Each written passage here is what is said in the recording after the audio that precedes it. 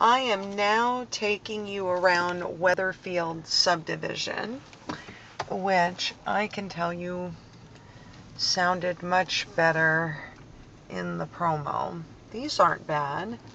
They're actually kind of cute. The architecture is nice. But this subdivision is located right in the middle of an industrial section. Um, so I'm going to kind of show you, there's still a lot of active construction. Nothing showing up on MLS. Um, this development actually started back in 2011. Uh, so it has been pretty slow going.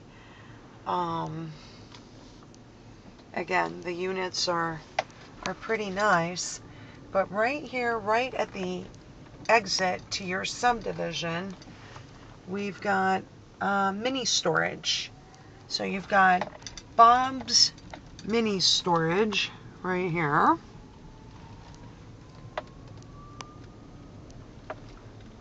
There's the subdivision. There's the future subdivision.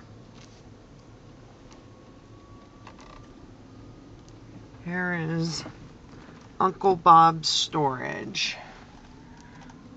Um, and as we drive out, just check this out real quick. It's kind of unfortunate because the, I mean, we're maybe a half a mile or a mile away from, you know, beautiful areas, um, you know, beautiful residential Cary.